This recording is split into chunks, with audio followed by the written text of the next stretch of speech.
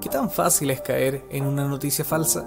La forma en que se transmite la información en la actualidad ha cambiado radicalmente en comparación a los años anteriores.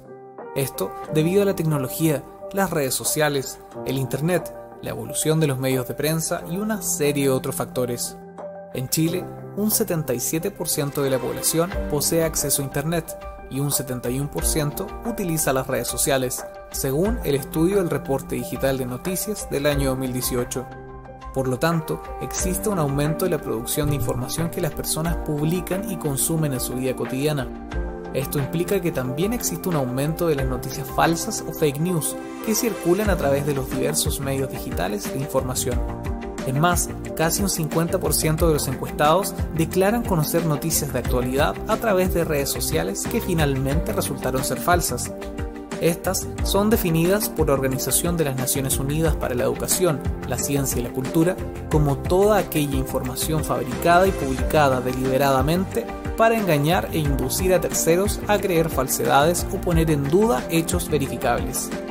Los medios de comunicación deben cuidar la veracidad, confiabilidad y calidad de los contenidos que se transmiten a través de los diferentes medios digitales, ante esto, la Federación de Medios de Comunicación Social de Chile, en conjunto a Anatel, Archi y ANP, envió un comunicado ante la multiplicidad de noticias falsas.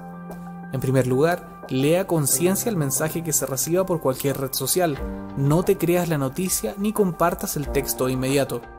¿Te causó una reacción emocional muy grande? Desconfía. Las noticias inventadas se hacen para causar grandes sorpresas o rechazo. En tercer lugar, confía en los medios tradicionales de información. Si encuentras que la información es falsa, denuncia. De esta manera evitas su divulgación. Para enfrentar esta problemática, siempre es importante formar un juicio crítico ante la información que recibas. De esta manera, tendrás un mejor filtro a la hora de difundir noticias verídicas y que procedan de fuentes oficiales de información. Ser responsable en las redes es un trabajo de todos. ¿Quieres que vayamos a tu colegio a conversar de esta u otra temática? Escríbenos a difusión.cl.